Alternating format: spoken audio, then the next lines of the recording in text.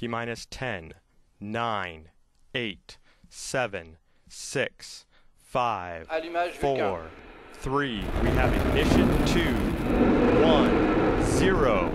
We have liftoff. The world of GNSS technology is constantly changing. GNSS modernization means that every year new satellites and signals become available. The new navigation satellites allow manufacturers to push the limits of high precision GNSS receiver technology. The problem is that legacy GNSS receivers are constantly in danger of becoming obsolete in the face of modernization. A sustainable manufacturing strategy is needed to guarantee the user a safe investment and benefit from the new satellites.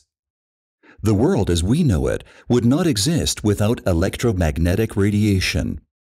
Not only are there GNSS waves, there are also visible waves or radio waves from a nearby station or microwaves carrying cell phone calls.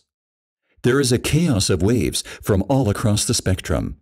With all the waves around us, how can we possibly track the right GNSS signals? When designing a GNSS engine, the signal structure needs to be known beforehand. A GNSS engine cannot be changed once it is built. Legacy receivers, therefore, cannot track new signals.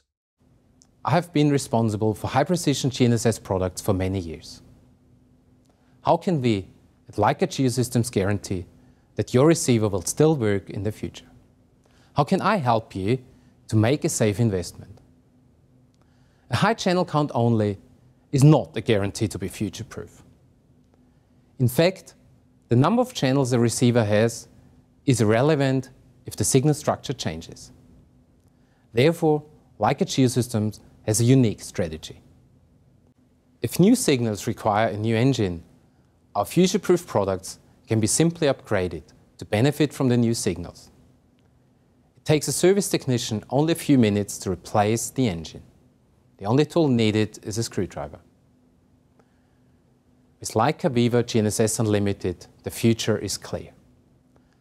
Our next generation GNSS engine will have over 500 channels and will track every planned signal.